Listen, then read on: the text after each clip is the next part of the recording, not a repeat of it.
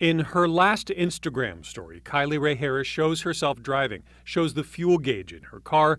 Current situation iffy, she wrote. She jokes about it on Twitter, too. Fuel range is 46 miles, and I'm 36 from the nearest gas station. Dear baby Jesus, please don't let me get stranded in New Mexico. It's 3:05 p.m., 6 hours before the crash.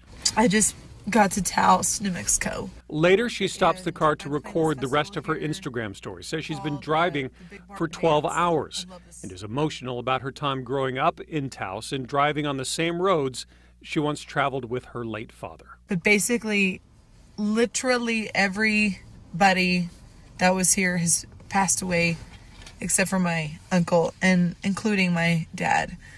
And I'm gonna cry. God, we're. Sorry, Instagram. Police in New Mexico say 9 p.m. that same night, Harris clipped the back of another vehicle, sending her into oncoming traffic, crashing head on into this white Jeep driven by 16 year old Maria Cruz. She was on her way home from bussing tables at her family's restaurant. Her friend took this picture just a few hours earlier. She never deserved anything like this. She was too young. She was too precious. She was just a good soul. There are now GoFundMe accounts online for both families for the funeral expenses for Maria Cruz and the college fund for Kylie Rae Harris's young daughter. The singer was a single mom.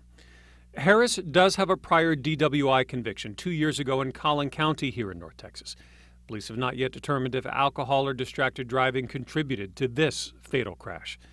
But her social media accounts are now filled with people both honoring her memory and others sharing their anger, blaming her for taking the young girl's life.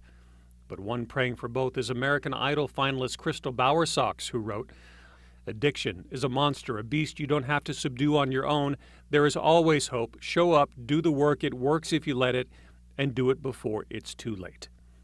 In Dallas, I'm Kevin Reece.